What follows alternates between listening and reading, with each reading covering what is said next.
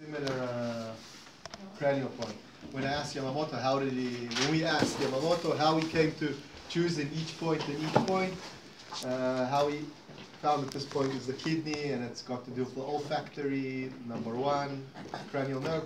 So he said, I try to uh, think about what happens when I take someone into a dark room where there's no windows and it's sh shut closed, what happens? The first thing that comes up is a, a scent of smell. So smell is actually very, uh, very, very deep in the body. So it, because his understanding of Chinese medicine, kidney is very deep, and it's got to be of the distant memories. And also, just every time you smell something, you straight away remember where you smelt it, and it brings you back to that same place. So it's uh, so first feel the scent of smell. Slowly, slowly, your eyes start adapting, your eyes start moving around in a matter of seconds. So that's how we actually added each cranial nerve to uh, the specific uh, organ.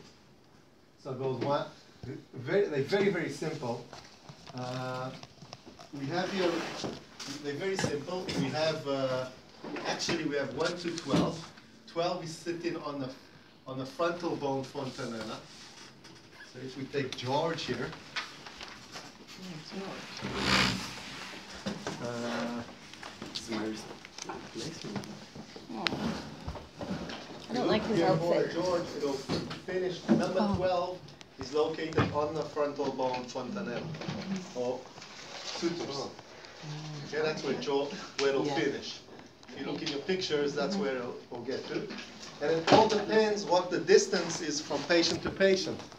So, and it's also one centimeter, actually, the brain points. So we know where it finishes, it goes back to, and the brain points, and the cerebrum points, six of these points uh, overlap in the brain points. So we have the four cerebrum points, the uh, cerebrum, and then we have the cerebellum. So we have, it's actually the kidney, bladder, PC, heart, stomach, and small intestine, uh, sorry, four. So kidney, uh, peri, uh, kidneys, uh, bladder, pericard, and heart are all located in the cerebrum, cere- uh, cerebrum area. And stomach and sanjiao are, loca- are located in the cerebellum area. So that's an overlapping. So you can use when you come and die. So that brings to when you diagnose the area. Let's say you come and you come to our patient. Uh, this is a general idea. What you, when you let me. I'm coming back again. Okay.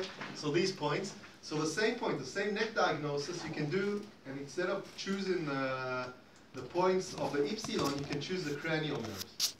Now the cranial nerves work the same as the epsilon points, but they have one thing, in, uh, one thing that the epsilon points don't do. They affect the cranial nerves. So if you have a patient suffering for facialis, okay, it's better to use cranial nerve number, the, the small intestine, which is seven, more than the small intestine of the epsilon. You with me? because it has Yeah. an extra added to its uh, function. Or if you have a patient who's got a problem with the eyes, so it's better to use the bladder, the bladder of the optic uh, cranial nerve for the eye. And Yamamoto, sometimes you see him, he, can come to a patient, you'll see the bladder is sensitive, and then you ask him, do you have any urinary problems? So he said, yes. And you have any eye problems? He said, yes. He always felt there's a correlation. You can use it as a diagnosis, kind of a diagnosis and understanding. Uh, so that is very just important to know, and they just overlaps. But- So if you want to sometimes be specific, uh, so just know that sometimes when you're using the cranial nerves, you also applying the needle into the brain points. So you don't differ- differentiate this. Now I work on the cranial. Now I work on a brain point. Uh, that's a general idea. That's why, why I stopped in the middle and came back. That's the idea you've got to go with. Now I'm going to give it from our interpretation, more on how we work with the technique. We have the diagnosis, by large intestine 4, and etc. Sometimes what me and Avi do, before we even start, this is from my experience, and we see how it cor- correlates with the brain points and the epsilon uh, and the cranial nerve uh, points. This is from my experience. Uh, maybe by practice you understand it a bit more. So you can just write it down now, and maybe later on it'll come. What we do, we come and we look at the, we do the same diagnosis of the, the palms of the hand, but before we even go to the neck diagnosis, we pell point the brain points. We pell point the brain points of the diagnostic area. Any side comes up, we go to the, the four organs, or the six organs on a low, it depends. If it's the cerebrum comes up or the cerebellum comes up, I'll go and pell point on the same side those organs. Because they correspond with the brain. So I want to be more precise in treating the brain points. If I had the brain points were divided in the beginning to three, or the cerebellum and cerebellum were divided into uh, actually uh, two point, two, uh, two zones, now I'm taking these zones and I'm breaking them down. So what we do, we uh, kind of found the correspondence, we go check the brain points, cerebrum, cerebellum. If any of those points come up, we point the neck diagnosis according, but only specific points. We only palpate the, the, the kidney, bladder, heart, and uh, heart and uh, uh, PC heart. That's if I see the cerebellum, uh, cerebrum comes up, and if the cerebellum comes up, I palpate the stomach and the pharyngeal. Are you with me? And after I've done that, I go back to the, the palms and I do the what we learned before. But that, write it down now if you can't understand it. What is more important This is what I said at the beginning. Instead of uh, instead of doing the epsilon points, you can do the cranial nerve points. Okay. Uh, and the basal ganglia is in the middle. And we, and we do it, we do it quite often has the same effect. now, what I, you'll come up to you understanding, cranial nerves have a peripheric area and have a peripheric nerve only affect the There's a certain state where the cranial nerves start affecting the peripheral uh, ner nerve system. So actually, what we have started to see that when the problem is, uh, we'll take a facialis for a problem. We have a nerve coming from the brain, and you have the the central brain, uh, central nerve system. So when we want to, uh, uh, if the facialis is from, uh, from the central nerve system, let's say stroke, we'll work with the cranial nerve, the cranial points. If we know he has facialis, which is can be from flu, so actually the peripheric uh, nerve system will, will been damaged, and then we'll use the epsilon point. So the epsilon, the, epsilon, the epsilon Oh, neuralgia? more in the cranial What nerve is it? Like Bell's palsy. Okay. Yeah, Bell's palsy. Bell palsy. Oh, Bell's Facialis, palsy. Facialis. Bell's Oh, okay, Bell's palsy. Oh, sorry. that's See okay. his face and, uh, okay. So, what I'm saying is the epsilon points more affect the, if they have an effect on the brain, they affect more the peripheric system than the central nerve system. I'm sorry, so would you use the cranial points for, the, the nerve points for Bell's palsy, or? Yes, but it depends if Bell's palsy comes, let's say, from a patho- pathogen, external pathogen, pathogen, or it, uh, if it's from stroke. So stroke is um, damage more to the central nerve system. Okay. It's the two, uh, orthogonal neuro- neurology. Depends where it comes from. Now, let me just use this a second. In what we wrote down in your booklets, you have the number of cranial nerve, you have the organ which it is associated with, and you have the, uh, the name and what it does, what the, each one it does. So it helps a, lot. Uh, just for example, just for example, a connection of these points, one of my patients was suffering from uh, problems in swallowing and speech. Hi- His cranial nerve number 12 was damaged. When I used to come pelvic, even needle, the area of cranial nerve number 12, he used to feel a sensation in his uh, anus. And the reason is why, because the anus and the, the large intestine is connected to number, uh, it was unbelievable. No, no, I feel it. uh, That was the unpleasant sensation uh, when I used to needle, but it used to help his swallowing problem as well. So there is a connection, or even with. Uh, so that, these are the same understanding. So now, just to know where the points are located, if you can see Avi, his head is going to recede over here, so you can see the, you can feel the bone, okay? You can feel the fontanella, okay?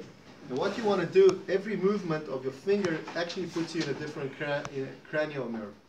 It's millimeters, one from uh, or uh, half a centimeter apart, one to another. They actually overlap each other. So if you also want to know if you needle the direct uh, cranial nerve, you have this. Uh, let's say for patient's uh, Bell's palsy, and you want to know that you've needled the exact point. So suddenly just go to small intestine, feel small intestine, even if it's not sensitive, just to see the tension of the muscle. And then I'll go back, look for the point, needle it, and see I want to see a change in small intestine. That makes, for me, I'm sure that I've needled the correct uh, cranial nerve. Okay? And now what I want to do, what I, what you want to look at, first you want to see what the size, Why? if he has Bell's palsy. Uh, Why, why does that check, like, Because I want to, because they're so close to each other, they half a centimeter away. If you look here, you can see that Yeah. they're very close, overlapping, nearly overlapping. So I want to know if I'm in number four or number five, even if I move my finger. So I just feel the feel the area of the diagnosis, and then I go find the needle and I needle it, and I want to see a change in the texture of the muscle. I want to see the muscle go down, or the ten. If there's no sensitivity, and I oh, just you're talking about the, if, Yeah.